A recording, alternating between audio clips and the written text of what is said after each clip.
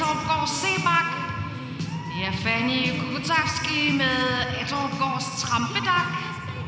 Karina Kasø Kryt med Atorpgårds Milura. Så er det unge rytter, de unge rytter Karoline Roman, Jaka Storlubro. Og det er Malene Aborg med Kantikonexen.